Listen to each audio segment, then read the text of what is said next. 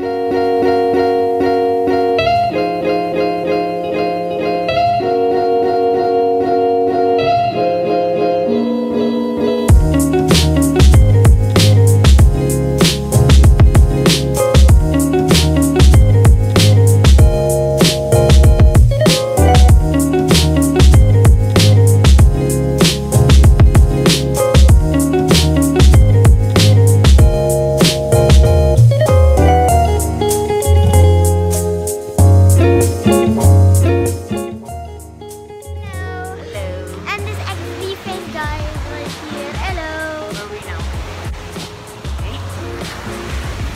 Oh no, I hate sand. I really don't want to get any in.